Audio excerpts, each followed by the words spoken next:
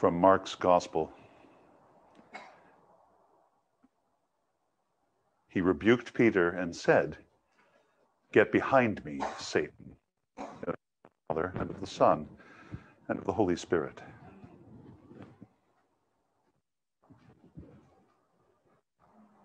In the Episcopal Church, and for that matter, the Roman Catholic Church, the Lutheran Church, and many Presbyterian Church observances, although they're under no rules to do it, we have a three year lectionary. And in year B, in which we are currently, we read from Mark's Gospel most weeks. And so every three years, we get Mark's version of this story today, the rebuke of Peter. And so it was 15 years ago that my wife and son, who's now 26, and daughter, who's now almost 21, and I were sitting in the pew at St. Mary the Virgin in 46th Street between 6th and 7th Avenues in Manhattan. It was a cold, cold February day, unlike today. And it was the second Sunday in Lent and we were sitting right underneath the pulpit. The pulpit is unbelievably high and mighty in the Church of St. Mary the Virgin. And it's the rector was tall. And so he was there, as he put it, standing 16 feet above contradiction, looking down and preaching. And he was serious and he was also a great guy. And my daughter was not serious about church. And she curled up under my wife's fur coat, which she had put aside because, like every Manhattan room, it's overheated. And she was under the coat. And the rector was in the pulpit. And he cited as his text from this gospel the following words Jesus began to teach them that the Son of Man must suffer many things and be rejected by the elders and the chief priests and scribes and be killed. And after three days, and you heard my daughter from underneath the coat say, Killed?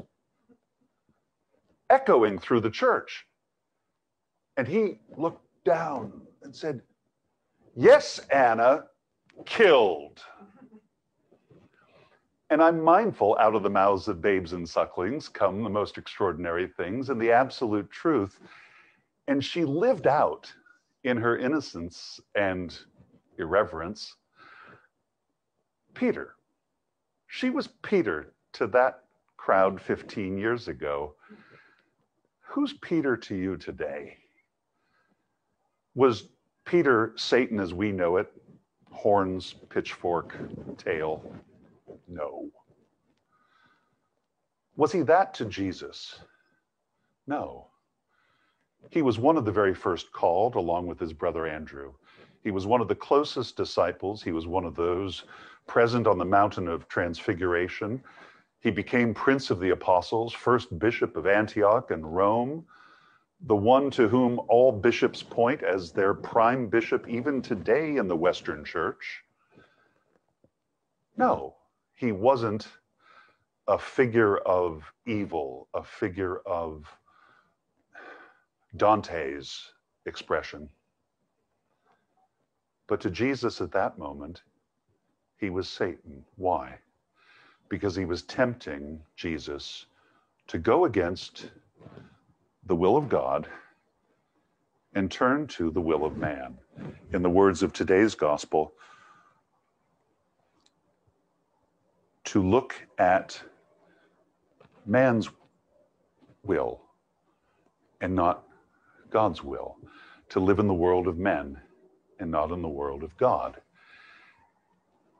We experience in today's Old Testament reading the establishment of the first covenant, the old covenant, as it were, between God and his people between Abraham and God, between Abram and God, Sarah and God, and Sarai and God, and the name change from Abram and Sarai to Abraham and Sarah that signified that covenant.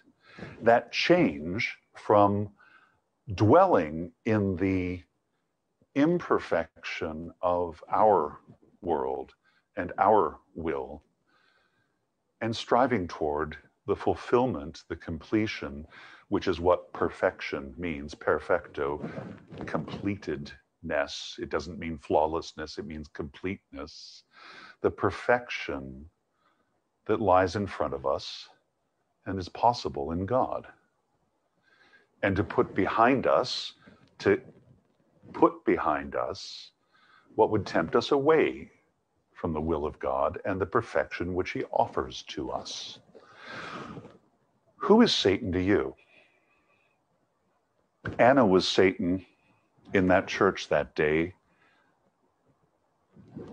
astonished that Jesus would have to be killed. My wife is sitting here off camera and is Satan to me on a daily basis. Get your hand out of the shot. She is Satan to me on a daily basis because she looks out for me and only me. I'm her first priority, along with the children and the cat, who is causing all kinds of trouble today. And she puts my well being over everything else. And I'm glad there's someone in the world who does that. And I give thanks for that. And yet, that will take me away from what I'm called to do by God if I follow that temptation all the time. There have been times, uh, I'll pick Anna Waters as a fictitious example because Anna can take it. When Anna Waters will call and she'll say, Don't get it, you're off duty. She would never do that to you, Anna. And I'll say, Yeah, it's my calling to get that.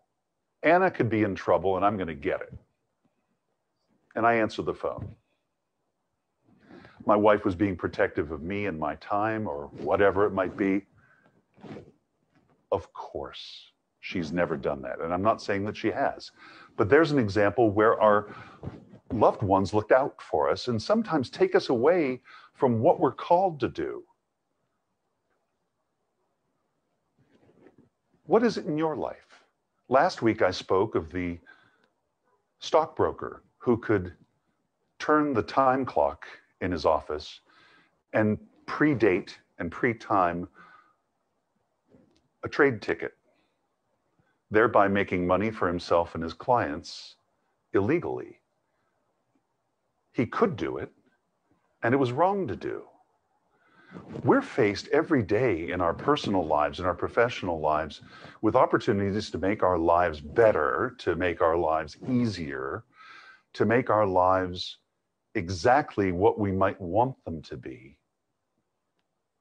And yet we know in our heart of hearts what it will really do is make them worse and lead toward a life which won't be better which will simply put off till tomorrow what could be done right now.